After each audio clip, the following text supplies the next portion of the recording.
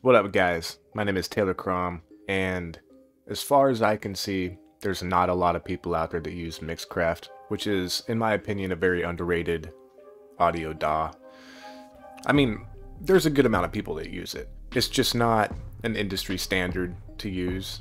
I think that it is looked at as more of an amateur beginner kind of DAW to use, you know, because you eventually, most people eventually want to make their way up to Pro Tools or Cubase or, you know, things like that.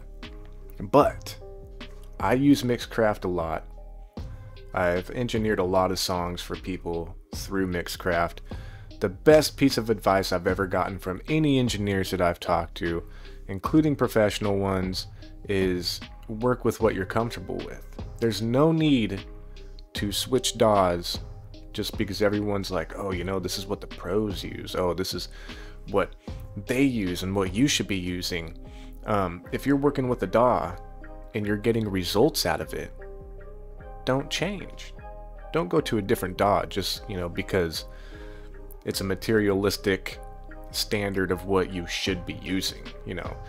It could potentially ruin your craft. Um, but I mean, if you do want to move up DAWs and go or switch DAWs, then you can definitely learn a new one and get very good at that one as well if you set your mind to it. So if you want to do that, that's totally fine too. But I'm here for people that are using Mixcraft, especially you beginners. Depending on what you're producing, I like to produce a lot of R&B, hip hop, and trap. Um, and I'm going to show you different plugins through Waves, also through Mixcraft, and different tools that you can use to create beats, how to mix vocals, how to work with delays and reverbs and sends and submix tracks and all that stuff. So if you're trying to get good results through Mixcraft and you can't really find many tutorials out there because it is hard. I tried searching for a lot of tutorials while I was learning Mixcraft and the last 10 years that I've been working with it and there's just not many out there. Even still to this day, there's not a lot of people that really gave me the answers I was looking for when it came to that specific DAW. So I'm going to make videos trying to go in detail about a whole bunch of different ways to make different things work and I hope that these videos can help you. And that's that's basically all I want to let you guys know. So if you use Mixcraft and you're needing these tutorials, then go ahead and subscribe because I do have a lot of videos coming that will be covering a lot of things.